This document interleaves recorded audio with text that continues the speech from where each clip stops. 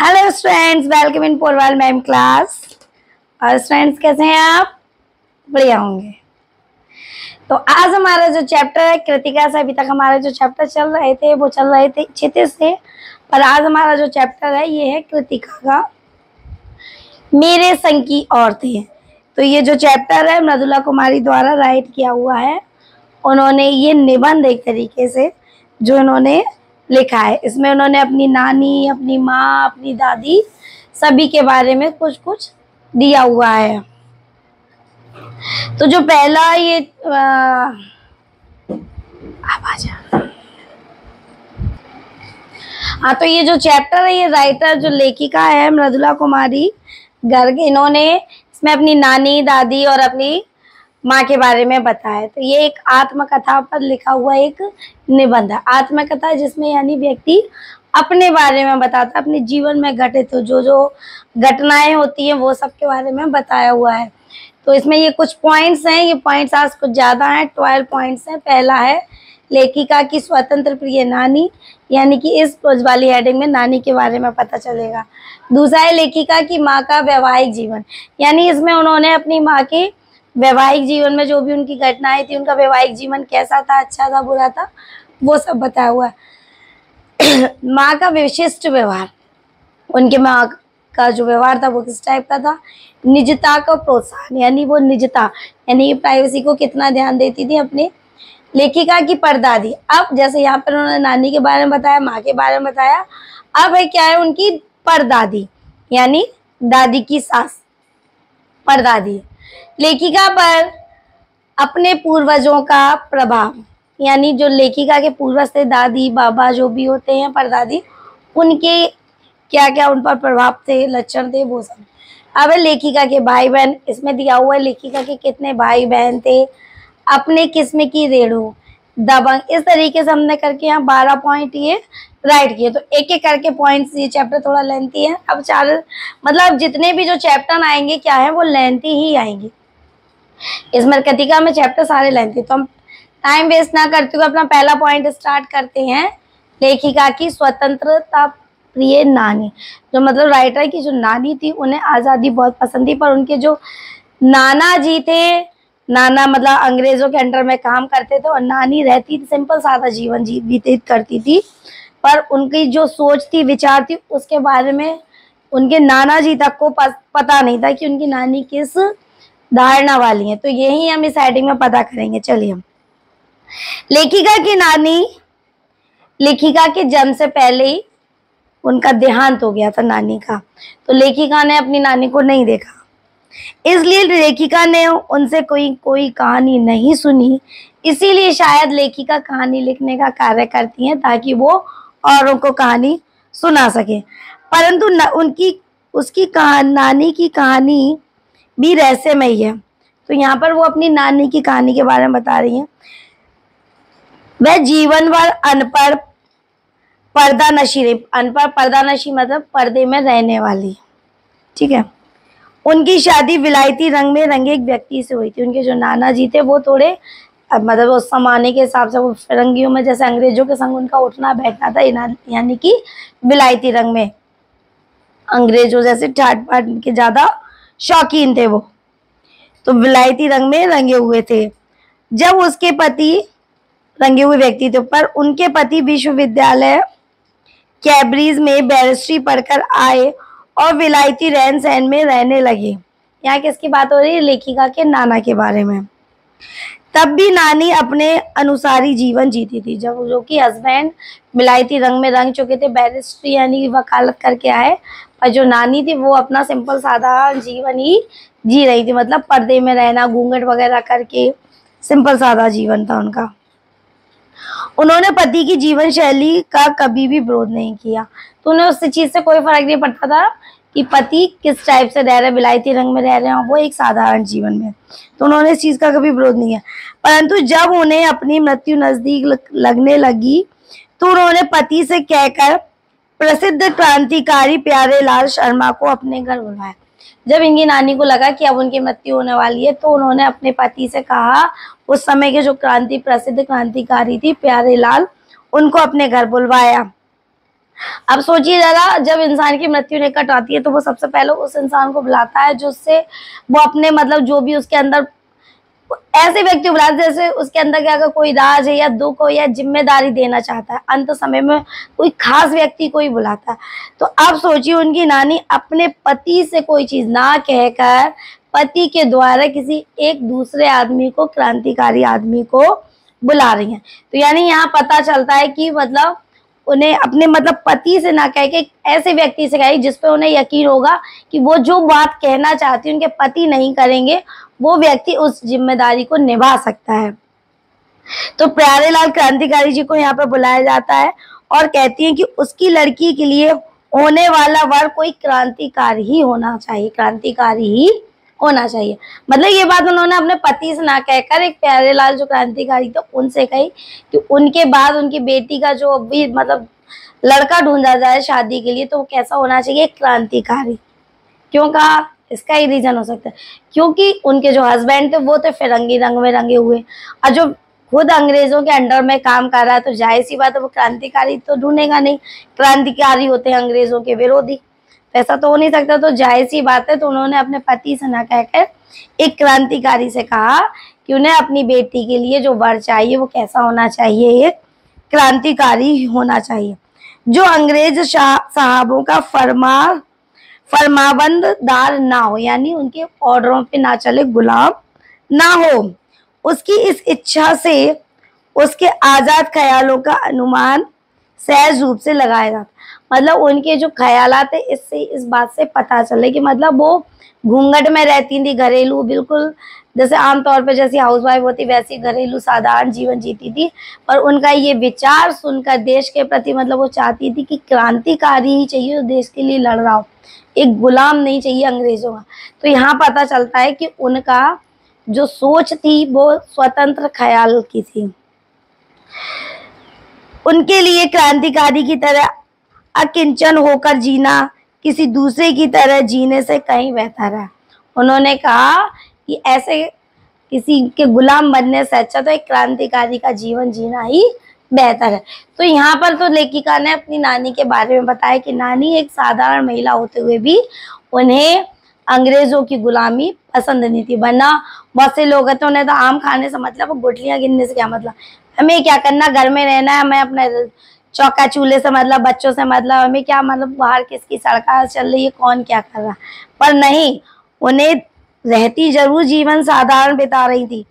पर इतना उनको भी मालूम था कि क्या चीज़ हमारे देश के लिए अच्छी है। ठीक, अब यहाँ पर हम करते हैं लेखिका के माँ का वैवाहिक जीवन। तो यहाँ पर तो जो उनकी माँ थी, जब मरने के पास निकट आ रही थी, उनकी मृत्यु निकट आई थी तो वो अपनी बेटी की विवाह के लिए बात करती हैं। तो अगला पॉइंट अब उसी के आगे का है, यानी कि लेखिका की माँ। ठीक है तो लेखिका की माँ के बारे में। लेखिका की माता की शादी एक पढ़े लिखे होनार युवक से हुई। उसे आज़ादी के आंदोलन में भाग लेने के कारण आईसीएस की परीक्षा में बैठने से रोक दिया गया। इनकी शादी जिस व्यक्ति से वो एक पढ़ा लिखा तो था और आईसीएससी की तैयारी कर रहे थे, पर क्रांतिकारी आंदोलन होने के कारण, क्रांतिकारी होने के कारण उन्हें इस परीक्षा में बैठने से मना कर दिया गया। क्यों कर दिया गया?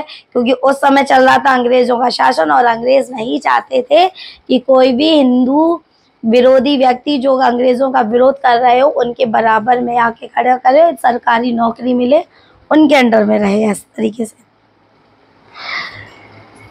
उनके पास पुश्तैनी धन नहीं था मतलब जो व्यक्ति था वो, एक साधारण व्यक्ति तो उनके पास कोई पुश्तैनी घर, मकान नहीं था, धन भी नहीं था। इस प्रकार लेखिका की माता को मजबूर होकर अपनी माँ और गांधी जी के ख्यालों को अपनाना पड़ा।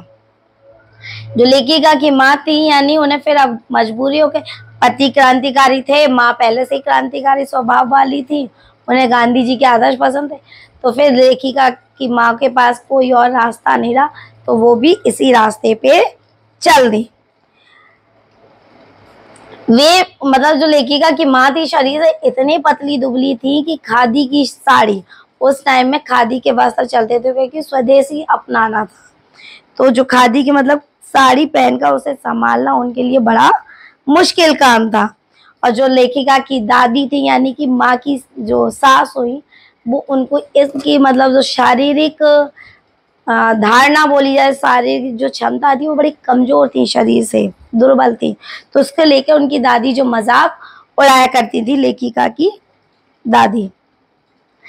लेखिका की माँ का अपनी ससुराल में पूरा रोप दाप था। उनके दो प्रमुख कारण थे। लेखिका का माँ का अपने ससुराल में पूरा रोप था।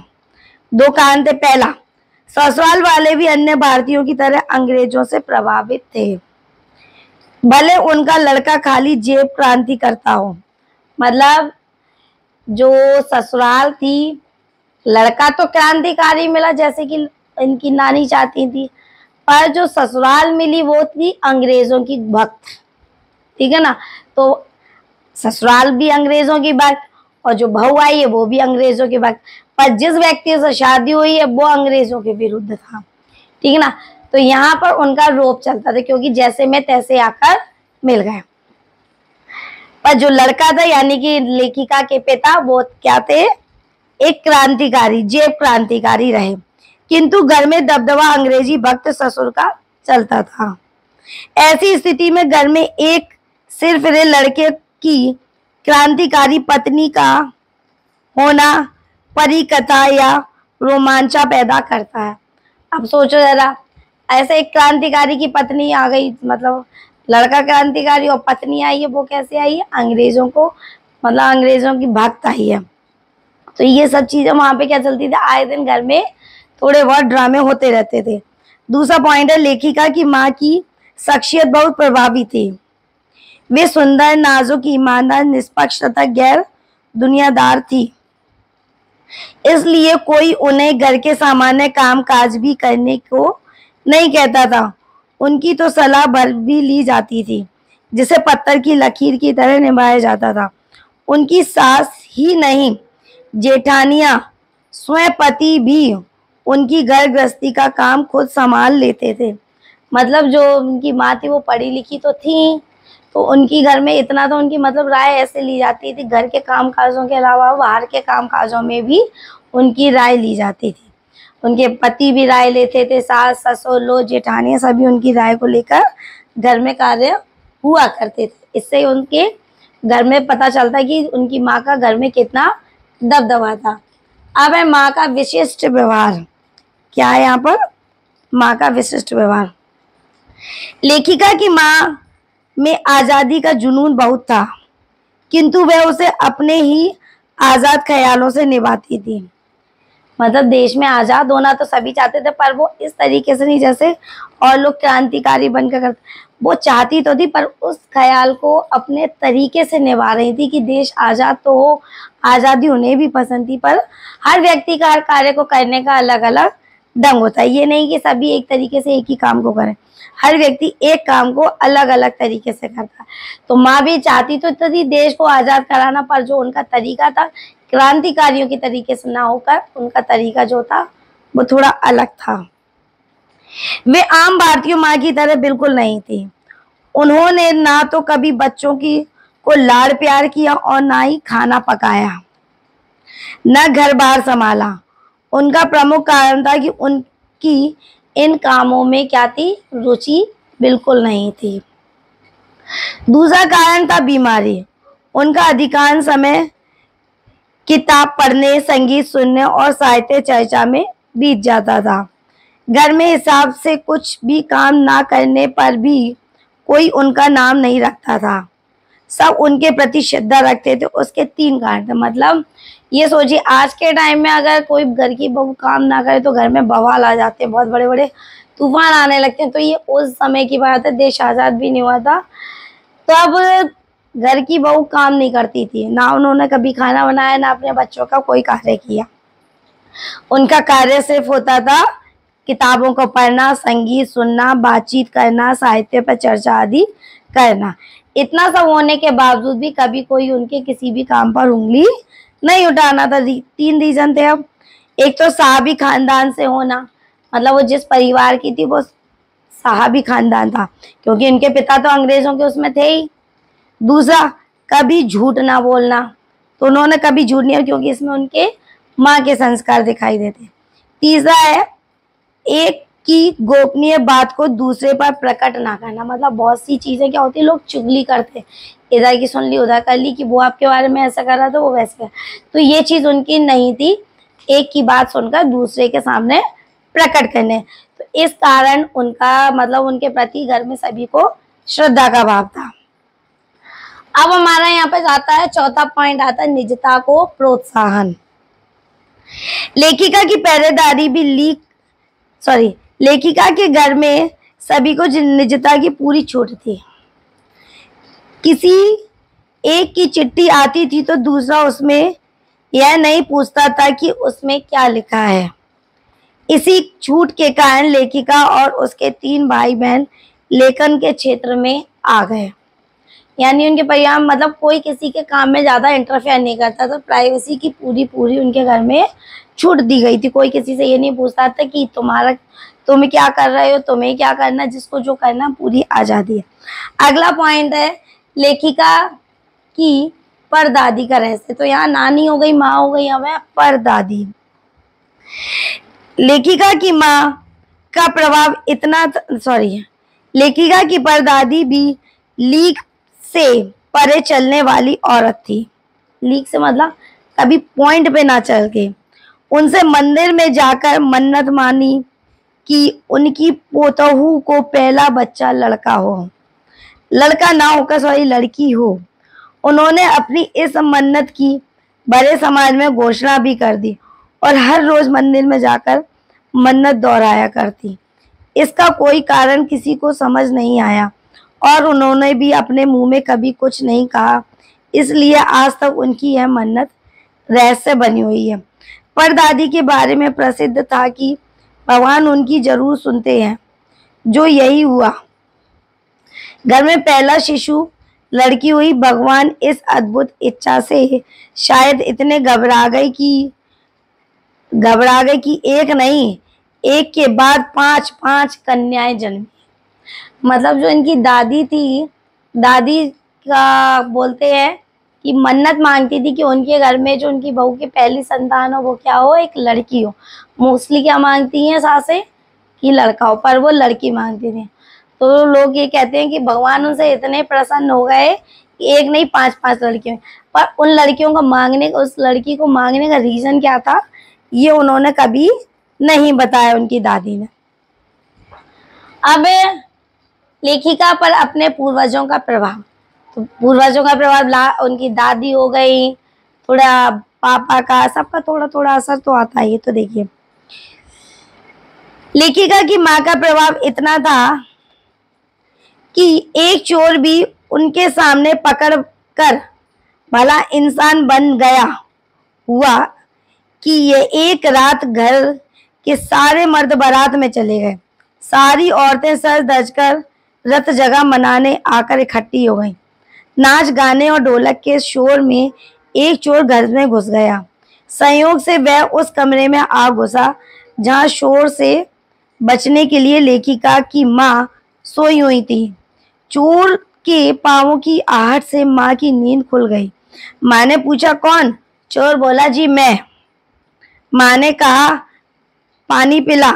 यह कहकर उसने अपना खाली लोटा उसे पकड़ा दिया। और कुएँ से पानी भरने को कहा, बोली, पर देख, कपड़ा कसकर बाँध रखी हो और तरीके से छानी हो यह सुनकर चोर घबरा गया। उसने सोचा कि माँ ने उसके मुँह पर कपड़ा, मुँह पर बंधा कपड़ा और कमर में बंधी भाग देख ली है मतलब बंधा हुआ भाग देख लिया है। माँ ने फिर कहा, जल्दी पानी ला। चोर बोला, पर मैं तो चोर हूँ। क्या आप चोर के हाथ का पानी पी लेंगी? माँ ने कहा तेरे और भगवान के सिवा कौन धरा है जो पिलाएगा? ऐसा चोर अकबकाया कि नानी की पानी भरने चल दिया। वह पकड़ा गया। तब से उसने चोरी छोड़कर खेती का धंधा अपना लिया। मतलब ये उस रात का किस्सा है, एक बार का किस्सा है। जब लेखिका के घर के सभी लोग कहीं बारात में शादी में गए हुए थे और घर की जो महिलाएँ थी रात में होता है ना, जब बारात में सब घर के जेंट्स जाते हैं तो महिलाएँ कुछ गीत संगीत करती हैं, कुछ हाँ नौटंकियाँ सी होती हैं तो वही करने की तैयारी हो रही थी तो जो माँ थी, इनकी ज़्यादा इन चीज़ों में थी ही नहीं तो वो एकांत ढूँढने के लिए कमरे में जा घुसी। इत्तेफाक से चोर भी उसी कमरे में आ गया। अब माँ की जब नींद खुली तो उन्होंने पूछा, कौन चोर बोलता है कि मैं? अब मैं चोर हूँ। अब चोर ज़ाहिर सी बात है तो चोर के मुँह पर भी कपड़ा बंधा होगा और कमर में रस्सी बंधी होगी। ठीक है ना? तो माँ आहट मतलब सुनकर कहती है कि मुझे पानी दे। पानी देने के लिए पास में जो खाली लोटा था वो उसे पकड़ा दे तो पर वो कहती, नहीं, कुएँ से जाके बरकेला। मतलब जो रस्सी बंधी है, रस्सी से बहना और मुँह पे जो कपड़ा बंधा है, उससे छानना। मतलब पानी भरकर लाना नहीं था। ये उसको एक सबक सिखाना था। अब वो चोर खुद डर गया कि मतलब इनको कैसे पता कि मेरी कमर में रस्सी और मुँह पे कपड़ा है? तो ज़ाहिर सी बात है, चोर खुले, हम तो ऐसे आएँगे नहीं। तो रस्सी भी बंदी होगी, मुँह पे कपड़ा तो बंद ही बंधा होना तो चोर क्या होता है डर जाता है, घबराहट में। और जैसे ही वो पानी भरने के लिए जाता है, सोचता है कि बाकी में ना पानी पीना तो वहाँ क्या होता है, वो पकड़ लिया जाता है। और अंत में वो चोरी का काम छोड़ के क्या करने लगता है खेती बाड़ी अब हमारा अगला पॉइंट है लेखिका के भाई बहन लेखिका के भाई बहन शायद परदादी की मन्नत के कारण लेखिका और उनकी चारों बहनें लड़की होने के नाते किसी हीन भावना की शिकार नहीं हुई। बल्कि उन सबने किसी लीग पर चलने से इनकार कर दिया। उनकी सबसे बड़ी बहन थी मंजुल भगत। इन इन्हीं ने, के लिए परदादी ने मन्नत मांगी थी। इन्होंने शादी के बाद जैन नाम छोड़कर पति का नाम ग्रहण कर लिया और प्रसिद्ध लेखिका बनी। दूसरी कन्या थी मृदुला गर्ग अर्थार्थ लेखिका स्वयं। इन्होंने भी शादी के बाद पति का नाम गर्ग अपने नाम में जोड़ लिया। लोग हैरानी से पूछते हैं कि इन्होंने शादी के बाद अपना नाम क्यों ही बदल लिया? लेखिका कहती है कि नाम ना बदलने से व्यक्तित्व में कोई अंतर नहीं आता, इसलिए नहीं बदला। लेखिका की तीसरी बहन गौरी उस चित्रा लेखन चित्रा लेखन नहीं करती थी। चौथी बहन रेणु भी नहीं लिखती थी। पांचवी बहन अचला अंग्रेज़ी में लिखती थी तथा छोटा भाई राजीव हिंदी का लेखक है। इन चारों को उसका सारा खानदान पढ़ाता है। लेखिका को यह बात अच्छी नहीं लगी कि उसके ससुराल वालों, वाले उसका लिखा नहीं पढ़ते, परंतु बाद में इसके लाभ भी पता चले। जो लेखिका के भाई बहन थे, उनकी जैसे बताया कि लेखिका की जो चार और बहनें थी मतलब वो उनमें से तीन बहनें लिखने का काम करती थी, और दो बहनें नहीं करती थी। तो जो सबसे बड़ी जो बहन थी, उन्होंने शादी के बाद जैन धर्म अपना लिया, और लेखिका ने जो दूसरे नंबर की थी, वो स्वयं कौन थी? लेखिका थी, यानी कि मधुरा मृदुला गर्ग। अच्छा ये पाँच चाचा, पाँच पाँच बहने होने के बावजूद भी लोग इन पे अचंभित क्यों नहीं होते थे? क्योंकि सबसे बड़ी चीज़ ये क्योंकि मन्नत द्वारा मांगी गई थी। किसी के घर में अगर दो या तीन लड़कियाँ हो जाए तो ही लोगों को बड़ी टेंशन हो जाती है। जैसे वही अब उनको खिला रहे हैं, वही उनको पाल रहे हैं। पर इनके यहाँ ऐसा कुछ नहीं था, क्योंकि ये मांगी गई थी। ईश्वर से प्रार्थना द्वारा की गई थी इनके लिए। अब है, अपने किस्म की रेणु लेखिका की दो बहनें, जो लेखिका नहीं बनी। अब यहाँ पर हम कर रहे हैं किसकी बात कर? अपने किस्म की रेणु मतलब बाकी की बहनें थी, वो हिंदी में लिखती थी, कुछ इंग्लिश में लिखती थी, जो रेणु थी, अब ये अपने किस्म में थी। लेखिका की दो बहनें, जो लेखिका नहीं बनी हो उनमें से अधिक स्वप्न और दबंग थी, वे अपने अनुसार जीना चाहती थी। गर्मियों में स्कूल से वापसी के समय उनके पिता उन्हें लिवाने के लिए गाड़ी भेज दिया करते थे। अचला तो उसमें बैठ जाती थी, किंतु रेणु पैदल आती थी। वह कहती थी थोड़ा सा रास्ता गाड़ी में बैठकर तय करना सामंत शाही का प्रतीक है। इसी कारण बीए की परीक्षा देने के समय भी वह अड़ गई। बोली, परीक्षा देने का फ़ायदा बताओ। सभी ने अपनी अपनी तरह से समझाया, पिता ने कहा, इससे नौकरी कर सकोगी, शादी कर पाओगी, लोग इज़्ज़त से देखेंगे। आदि आदि। किंतु वह ना माने। अंत में पिता ने आदेश दिया कि मैं कह रहा हूँ, करो। तब उसने पिता की इच्छा पूरी करने के लिए जैसे तैसे बीए की परीक्षा की। वह सच बोलने में माँ से दो कदम आगे थी। इसलिए उसका सच सुनकर लोग हंस पड़ते। जब कोई भी उसे इत्र बेट करता तो वह कहती, नहीं चाहिए, मैं तो नहाती हूँ। मतलब इसमें जिस रेणु के बारे में बात की जा रही है ये थोड़ी अपने इच्छा अनुसार चलने वाली थी। मतलब एक होता है जो परिवार को देख के करते कंडीशन देख, पर ये क्या थी, अपनी थोड़ी इच्छा अनुसार करना जैसा इनको करना चाहती थी, ये उसी प्रकार से ये जीती थी। तो जैसे बोला गया कि बीए की परीक्षा के लिए इन्होंने को सबने समझाया, पर इन्होंने नहीं किया। जब रीजन बताया गया करने के, तब भी ये तैयार नहीं। उसके बाद जब इन्हें ये पूर्ण रूप से पिता ने आदेश दे दिया कि करना है। तब जाके इन्होंने पिछा, वो पिता की इच्छा पूरी करने के लिए इन्होंने बीए की परीक्षा दी। तो यहाँ तो रेणु हो गई, अब जो दूसरी बहन थी वो थी चित्रा। चित्रा, लेखिका की तीसरे नंबर की बहन चित्रा भी दमक थी, यानी रेणु और चित्रा जो कि लिखती नहीं थी। वह मन में आई बात करके ही मानती थी। कॉलेज में पढ़ते समय वह खुद पढ़ने से अधिक ध्यान औरों को पढ़ाने में लगाती थी। इसके लिए अपने अंक अपने शागिर्दों से कम आते थे। मतलब वो खुद कम पढ़ती थी और दूसरों को ज़्यादा पढ़ाती थी। तो हमेशा उसके कम मार्क्स आते थे और दूसरों के ज़्यादा आते थे। शादी के वक्त उसने एक लड़के के बारे में ऐलान कर दिया कि वह शादी तो उसी से करेगी। खुद लड़के को भी इस बात का पता नहीं था। समय आने पर उसने लड़के को बता दिया और यह भी कह दिया कि वह सोच, वह जो सोच लेती है, उसे करके ही दम लेती है। परिणाम स्वरूप लड़के ने हथियार डाल दिए, शादी हो गई। सबसे छोटी बहन ने ठीक से पढ़ाई लिखाई की, पिता की इच्छा अनुसार शादी की।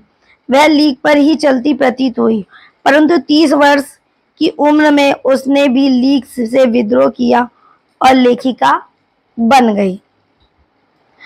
तो यहाँ पे उनकी बहनों के बारे में बताया गया कि बहनें कैसे कैसे थी। ठीक, अगला पॉइंट हमारा दृढ़ संकल्प सबका स्वाभाविक गुण। सभी बहनों में लीक से हटने का गुण है। मतलब पॉइंट से सभी बहनें, समय के हिसाब से इंसान सोचकर तो बहुत कुछ चलता है, पर क्या है, समय और परिस्थितियाँ हर इंसान को उसके रास्ते से भटका देती हैं। समय के हिसाब से लोग बदल भी जाते हैं, रास्ते भी बदल लेते हैं। तो यहाँ पर भी इस कहानी में भी, इस निबंध में भी थोड़ी यही कंडीशन आई है कि कुछ लोग तो चले ही नहीं शुरू से और जो चले तो समय के हिसाब से उन्हें भी अपना रास्ता बदलना पड़ा। तो यहाँ पर है, सभी बहनों में लीक से हटने का गुण है, परंतु घर गृहस्थी और विवाह के परंपरागत तरीके को किसी ने नहीं छोड़ा। उनका विश्वास था कि मर्द बदलने से कोई प्रयोजन सिद्ध नहीं होता। घर के भीतर रहकर भी अपनी मर्ज़ी से जी लेना काफ़ी है। लेखिका शादी के बाद बिहार के एक छोटे से कस्बे डालमिया नगर में पहुँची। वहाँ नए नारी की प्रत्यक्षता इतनी हावी थी कि पिक्चर में भी नए नारी अलग बैठते थे। इसी डलमिया नगर में लेखिका ने कोशिश करके कुछ शादीशुदा औरतों को इस बात के लिए तैयार किया कि वे पराए मर्दों के साथ मिलकर नाटकों में अभिनय करें। उन्होंने चार साल तक कई नाटक किए और अकाल राहत कोष के लिए धन एकत्र किया। मतलब जब वो अपने जीवन में एक बार बिहार गई होंगी लेखिका, जब बिहार में जाके उन्होंने वहाँ का माहौल देखा कि वहाँ पे औरतों को लेके इतनी पर्दा प्रथा थी कि फ़ोटो भी अगर हस्बैंड वाइफ के चाहते थे तो पास तो होते थे, पर उनके बीच में गैप होता था। साथ साथ नहीं बैठते थे। तो ये देखकर अब उनके मन में आया तो पहले तो यहाँ से ये चीज़ दूर करनी है। तो जब घर में ही महिलाओं को इतनी बंदिशें होती थी तो उनको दूर करने के लिए तो पहले उन्होंने कुछ महिलाओं को जागृत किया और कहा घर से बाहर के मर्दों के साथ किसके लिए प्रेरित किया? नाटक करने की जो नाटक होते हैं ना, नुक्कड़ नाटक लोगों को कुछ शिक्षा देने के लिए। तो ऐसे नाटकों में अभिनय करने के लिए प्रेरित किया और इन नाटकों के द्वारा उन्होंने कुछ धन संचय भी किया राहत कोष के लिए। अब कर्नाटक में विश्वविद्यालय निर्माण। अब यहाँ पे बिहार का हो गया। अब उनका है लास्ट पॉइंट हमारा, नहीं लास्ट नहीं, अभी एक और है इलेवन पॉइंट है, कर्नाटक में विश्वविद्यालय। लेखिका कर्नाटक में एक छोटे से कस्बे में बागल, बागलकोट में पहुँची। यात्रा तो वो करती रहती तो अब कहा गई? कर्नाटक के बागलकोट में। वहाँ कोई ढंग का विद्यालय नहीं था। जहाँ वे अपने, वहाँ जहाँ वे अपने दो बच्चों को पढ़ा सके। उसने पास के कैथोलिक विपश, विशप से प्रार्थना की। वहाँ, वह वहाँ सीमेंट कारखाने की मदद से एक प्राइमरी स्कूल खोल दें। बिशप ने कहा, वहाँ क्रिश्चियन जनसंख्या कम है। लेखिका ने गैर क्रिश्चियन बच्चों की, को भी शिक्षा योग्य होने की दलील दी। बिशप ने कहा, आप यकीन दिलाएँ कि वह स्कूल अगले सौ वर्षों तक चलता रहेगा। यह सुनकर लेखिका गुस्सा खा गई। बिशप ने भी कहा, स्कूल खोलना आपकी समस्या है, मेरी नहीं। लेकिन लेखिका ने संकल्प किया, वह अंग्रेज़ी, हिंदी, कन्नड़ तीन भाषाएँ सिखाने वाला स्कूल खोलकर रहेंगी और कर्नाटक सरकार से मान्यता भी दिलाएँगी। उसने कुछ शिरफरे लोगों की सहायता से यह काम शुरू किया। उसके साथ अन्य सरकारी अफसरों के बच्चों, बच्चे भी स्कूल में पढ़े। इस प्रकार लेखिका ने अपनी जिद को हर जगह पूरा किया और विशेषकर लेखन के मंच पर। तो जहाँ पर वो गई थी, हमने बताया कर्नाटक में तो वहाँ पे क्या था, एक भी अच्छे स्कूल नहीं थे, सीमेंट। तो वहाँ जो कारखाना था, कारखाना से वो चाहती थी, उस कारखाने की बिल्डिंग में एक क्या बन जाए अच्छा सा विद्यालय बन जाए क्रिश्चियन यानी इंग्लिश मीडियम एक विद्यालय बन जाए, जहाँ बच्चे पढ़ सके ठीक प्रकार से, पर जो बिशप था वो इस चीज़ के लिए तैयार नहीं था। तो जैसे वो कुछ और लोगों के सहयोग से एक नया विद्यालय का निर्माण करती है, जिसमें तीन प्रकार की भाषाओं का ज्ञान ज्ञान दिया जाता था। अब है लास्ट हेडिंग हमारी, रेणु की जिद का किस्सा। लेखिका की जिद, रेणु की जिद के सामने कुछ नहीं थी सन 1950 की बात है। एक दिन दिल्ली में एक साथ नौ इंच बारिश हुई। पूरा नगर पानी में लबालब भर गया। कोई वाहन बाहर ना निकला। यातायात ठप पड़ गया। स्वाभाविक था कि स्कूल भी बंद हो गए हो। किंतु रेणु ने स्कूल जाने की जिद ठान ली। उसे समझाया गया कि स्कूल बंद होगा, परंतु वह नहीं मानी। वह कहती रही कि उसे स्कूल जाना है। आपको कैसे पता कि स्कूल बंद है, उसे तो स्कूल जाना है। आखिरकार वह वह बस्ता उठाकर स्कूल गई। स्कूल का चौकीदार उसे देखकर दंग रह गया। घर आने पर सबने कहा, हमने पहले ही कहा था, इस पर रेणु बोली, स्कूल बंद था तो मैं वापस आ गई। इसमें आपका कहना कहाँ से आ गया? लेखिका को लगता है कि उस दिन रेणु के अकेले स्कूल जाने में कितना रोमांच हुआ होगा सचमुच अकेलेपन का मज़ा कुछ और ही है। तो यानी जो उनकी बहन थी, ये बहुत ज़्यादा जिद्दी थी, चित्रा से भी ज़्यादा जिद्दी थी। तो यहाँ पर हमारा ये चैप्टर फिनिश होता है। तो ये पॉइंट्स आप इनको देख लें पॉइंट्स के बेस पे आप ये पूरा चैप्टर तैयार कर सकते हैं।